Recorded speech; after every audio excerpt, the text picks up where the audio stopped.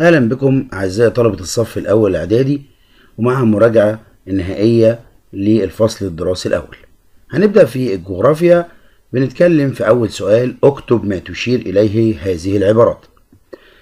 أو واحد أجسام تدور حول الكواكب وترتبط معها بفعل الجاذبية الأقمار. أقرب كوكب إلى الشمس وأصغر الكواكب عطارد. الكوكب الوحيد الذي توجد على سطحه حياة الأرض. خط وهمي يصل بين القطبين ويمر بمركز الأرض ويميل بمقدار 23.5 درجة محور الأرض. دوائر وهمية أفقية متوازية تحيط بالكرة الأرضية دوائر العرض. القارة الوحيدة التي يمر بها ثلاث دوائر عرض رئيسية هي قارة أفريقيا. الأجزاء المرتفعة عن سطح البحر ولم تغمرها المياه اليابس. عبارة عن هزات سريعة تحدث في القشرة الأرضية الزلازل مساحة من المياه المالح أصغر من المحيط وتتصل به بفتحة واسعة. كلنا عارفين إن هي بحار خارجية زي البحر الأحمر. أرض منخفضة ضيقة ومستطيلة تحف بها المرتفعات على جانبيها. طبعا هو اسمه الوادي. فتحة في قشرة الأرض يندفع منها وقت الصوران مواد منصهرة وأبخرة وغازات. طبعا للبراكين. مساحة صغيرة من الماء المالح أو العذب يحيط به اليابس. أكيد ديت هتكون البحيرة. تظهر في السماء على شكل سحابة من الغبار. السد. تظهر في السماء على شكل سهام ضوئية. الشهب. أرض مستوية أو شبه مستوية. يقل ارتفاعها عن 500 متر. طبعا كلنا عارفين إن دي السهول. مساحة من اليابس يحيط بها الماء من جميع الجهات. جزيرة أرض مرتفعة أكثر من ألف متر شديدة الانحدار ولها قمة. الجبال أرض مرتفعة مستوية أو شبه مستوية يزيد ارتفاعها عن 500 متر. طبعا دي الهضبة. الأجسام الوحيدة التي تسقط على الأرض النيازك. أجسام معتمة لا تشع ضوء ولا حرارة ولكن تستمد ضوءها وحرارتها من النجوم طبعا الكواكب. أجسام كبيرة الحجم مضيئة وملتهبة ومتوهجة تشع ضوء وحرارة النجوم. سؤال تاني أعزائي الطلبة في الجغرافيا سؤال بما تفسر. بما تفسر. واحد يبدو لنا القمر مضيئا على الرغم من أنه جسم معتم لأن القمر يعكس ضوء الشمس الساقط عليه. رقم اتنين تسمية مجراتنا بالضرب اللبني لأنها تشبه اللبن المسكوب. تلاتة لا يمكن تحديد مدة دوران كوكب الزهرة حول نفسه لأن غلافه غازي يصعب اختراقه.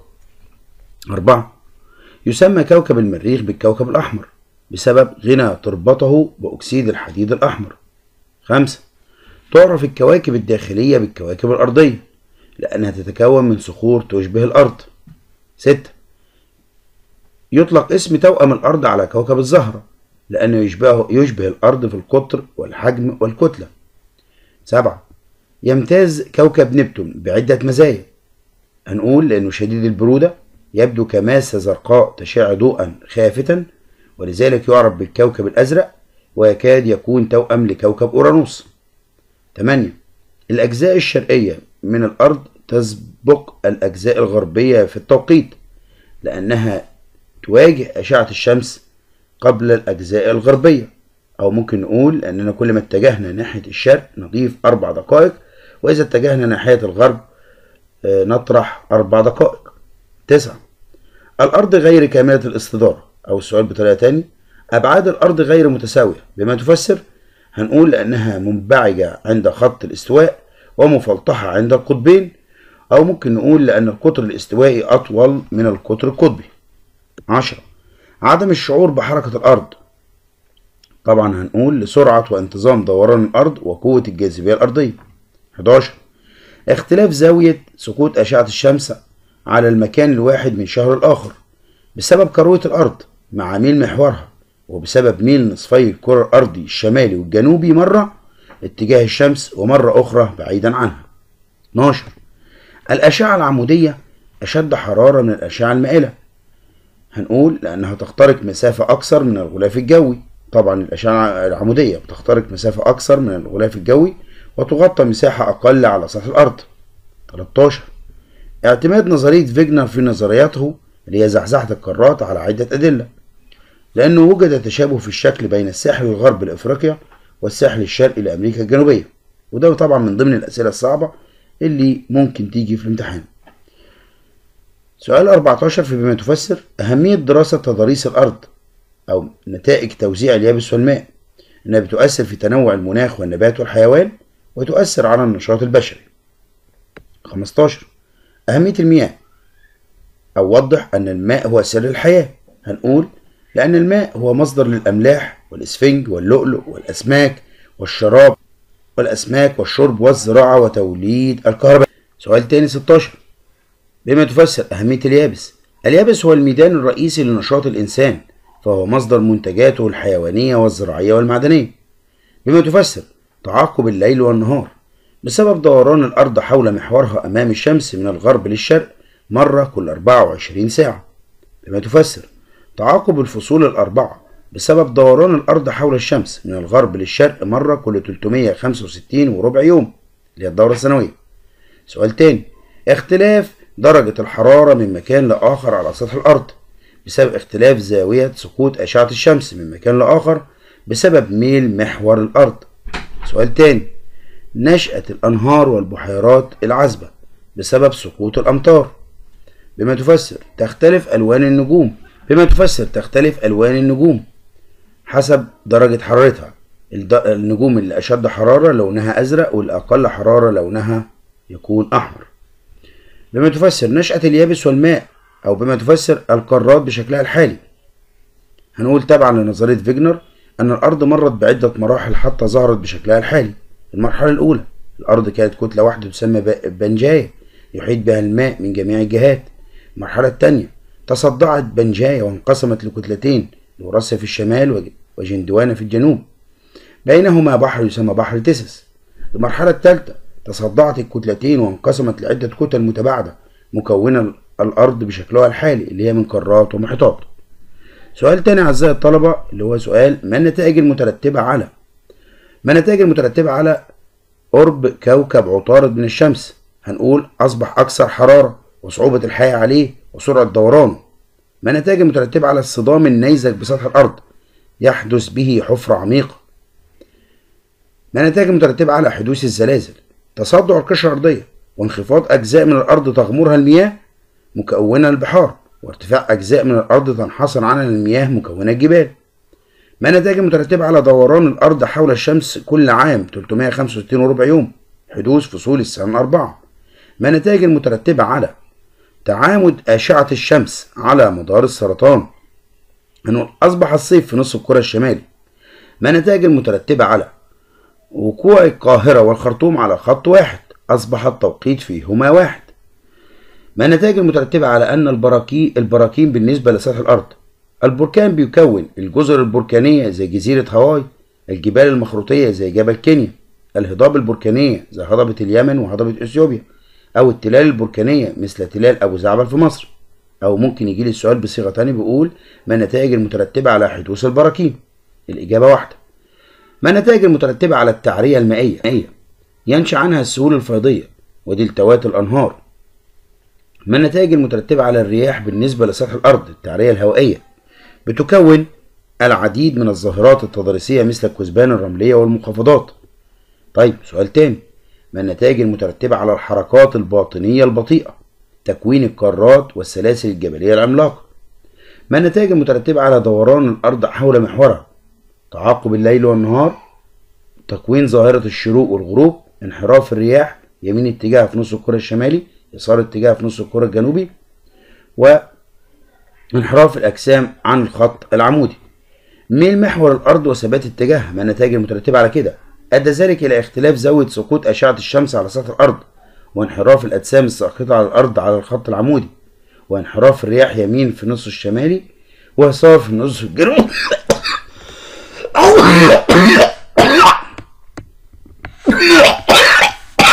نفس إجابة سؤال دوران الأرض حول محورها. لما نيجي لسؤال تاني أعزائي الطلبة أكمل العبارات الآتية تعرف مجراتنا باسم نقط لأنها تشبه التبن المتساقط وهي من النوع الحلزوني. طبعا كلنا عارفين تعرف مجراتنا باسم سكة التبان. سؤال تاني أكمل العبارة الآتية الكواكب نقط صغيرة وصلبة وقريبة من الشمس وسريعة الدوران حول الشمس. كلنا عارفين اللي هي الكواكب الداخلية. الكواكب الخارجية سؤال ثلاثة. الكواكب الخارجية كبيرة وغازية ونقط عن الشمس وبطيئة الدوران حول الشمس بعيدة طبعا عن الشمس. سؤال أربعة. أكمل. حجم نقط يساوي مليون مرة حجم الأرض طبعا الشمس. طب كوكب زحل قدر حجم نقط 763 مرة حجم الأرض. سؤال خمسة. يعد الزهرة توأم للأرض بينما يكاد النقط توأم لأورانوس طبعا كوكب نبتون. يبلغ الفرق بين كل خط طول والآخر نقط أربع دقائق.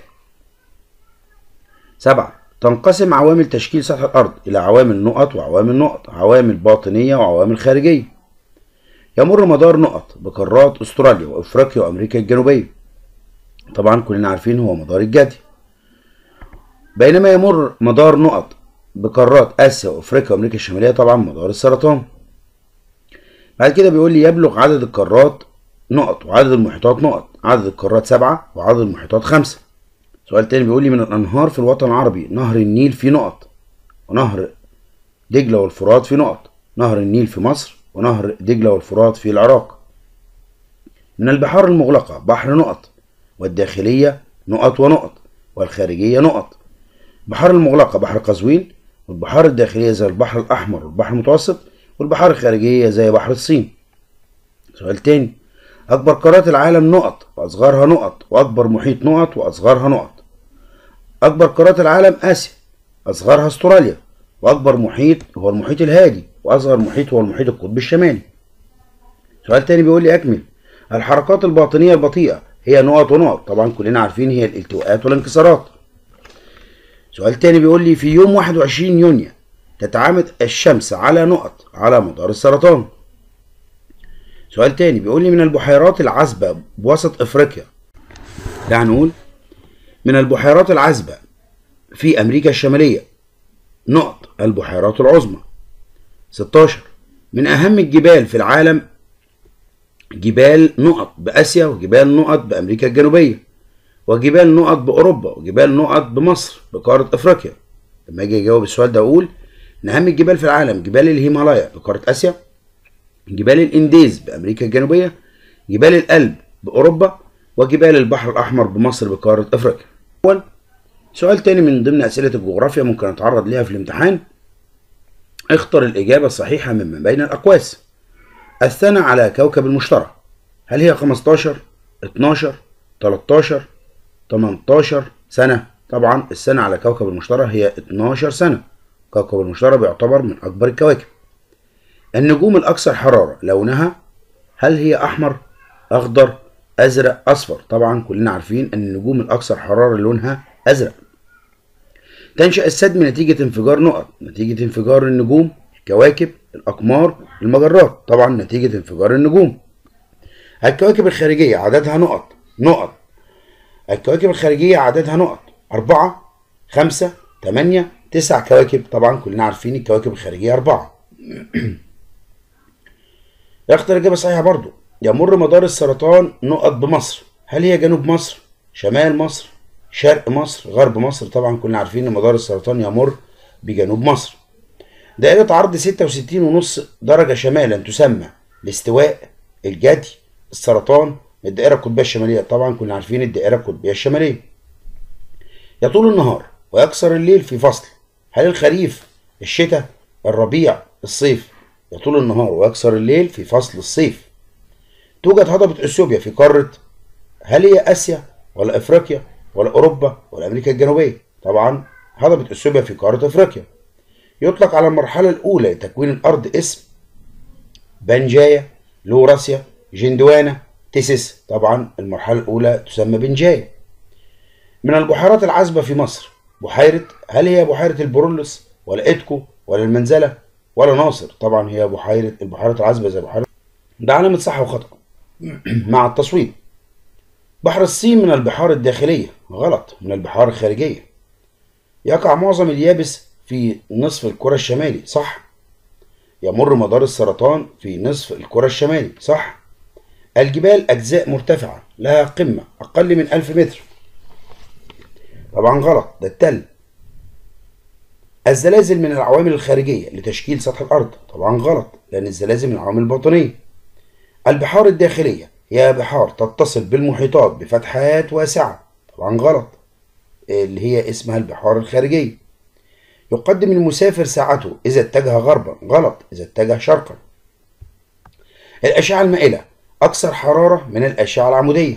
غلط أقل حرارة. يتميز كوكب الزهرة بأنه شديد البرودة. غلط ده كوكب نبتون. عند اصطدام الشهب بسطح الأرض تحدث حفرة عميقة بها. طبعا غلط دي النيازك. يكمل كوكب زحل دورته حول الشمس كل 29 ونص سنة أرضية صح؟ هضبة إثيوبيا واليمن هضاب بركانية صح؟ يشغل الماء بكوكب الأرض 29.3% غلط ده اليابس. ده على مساحة غلط. مجرى مائي عذب له منبع وله مصب يسمى نهر صح؟ تمتد جبال الإنديز بقارة آسيا. غلط بأمريكا الجنوبية. كوكب زحل له حلقات حلزونية وهو من الكواكب الخارجية. طبعا صح. سؤال تاني ممكن أعزائي الطلبة أشوفه اللي هو سؤال ماذا يحدث لو؟ ماذا يحدث لو لم يكن ميل محور الأرض غير ثابت؟ هنقول تأتي فصول السنة بغير ترتيب. قد يتكرر فصل الصيف والشتاء مرتين في العام. ماذا يحدث لو كانت الأرض مسطحة تسقط أشعة الشمس عمودية على سطح الأرض وثبات درجة الحرارة وعدم تنوع المناخ والنبات والبيئات والكائنات الحية. طيب هنوضح جدول فيه توزيع فصول السنة أربعة في نص الكرة الشمالي والجنوبي. يوم 21 ديسمبر بتتعامد الشمس على مدار الجدي فيحدث شتاء في نص الكرة الشمالي وصيف في نص الكرة الجنوبي. بعد كده بنقول يوم 21 مارس بتعامد الشمس على خط الاستواء. فيحدث ربيع في نصف الكرة الشمالي وخريف في نصف الكرة الجنوبي. يوم 21 يونيو هو 21 6 بتعامد الشمس على مدار السرطان فيحدث صيف في نص الكرة الشمالي وشتاء في نص الكرة الجنوبي. يوم 23 سبتمبر 23 9 تعامد الشمس على خط الاستواء فيحدث خريف في نص الكرة الشمالي وربيع في نصف الكرة الجنوبي. سؤال تاني ممكن اتعرض ليه أعزائي الطلبة اللي هي الخرائط. امامك خريطة صماء للعالم. وضح عليها الآتي. خلال الخريطة عيني على الخريطة وركز شوية في الأرقام وأوضح مدلولها. واحد زي ما أنتم شايفين على الخريطة قارة أفريقيا. اتنين قارة آسيا. تلاتة قارة أوروبا. أربعة قارة أستراليا. خمسة قارة أمريكا الشمالية. ستة قارة أمريكا الجنوبية. سبعة القارة القطبية الجنوبية. تمانية المحيط الهادي. تسعة المحيط الأطلنطي. عشرة المحيط الهندي. 11 المحيط القطب الشمالي. 12 المحيط المتجمد الجنوبي. 13 بحر داخلي مفتوح. البحر المتوسط. بحر داخلي مفتوح رقم 14 برضو البحر الأحمر. بعد كده 15 بحر داخلي مغلق بحر قزوين. 16 بحر خارجي بحر الشمال. 17 بحر خارجي بحر الصين. سؤال تاني دوائر العرض الرئيسية أمامك شكل مسطح الأرض وضح عليها الآتي. نقول واحد دائرة الاستواء. اتنين مدار السرطان. تلاتة الدائرة القطبية الشمالية. أربعة نقطة القطب الشمالي. جنوب بقى دائرة الاستواء خمسة مدار الجدي. ستة الدائرة القطبية الجنوبية. سبعة نقطة القطب الجنوبي. وبكده أعزائي الطلبة نكون خلصنا جزء كبير من مراجعة الجغرافيا. انتظروني في جزء آخر في مراجعة التاريخ وإلى اللقاء.